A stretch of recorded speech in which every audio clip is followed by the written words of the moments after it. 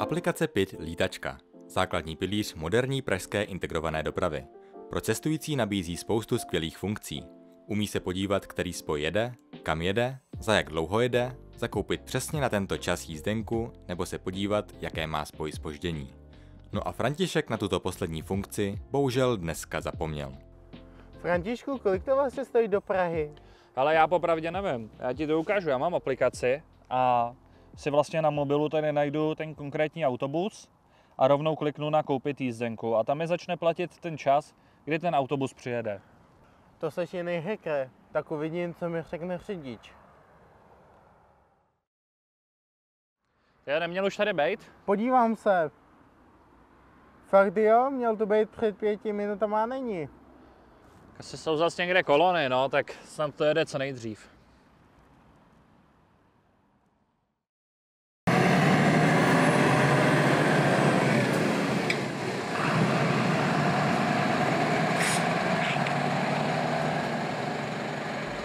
Hele, už to jede. A to je dost. Skoro 20 minut pozdě.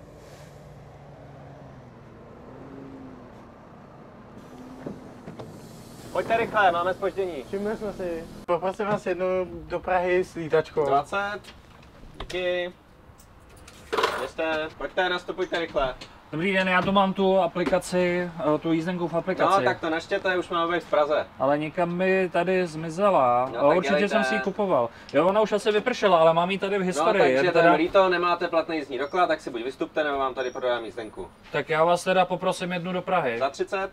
A počkejte, proč za 30? Teď kolega to měl za 20. Protože to mě s lítačkou. A, ale já mám taky s lítačkou. No tak ale to se má hlásit předem, že jo, teď to musím stornovat. Tak 20 teda.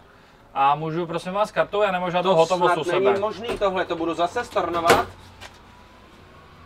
Víte co, dohaduju se tady s váma už hodinu. Vystupte si a do příštího autobusu si rozmyslete, co vlastně chcete.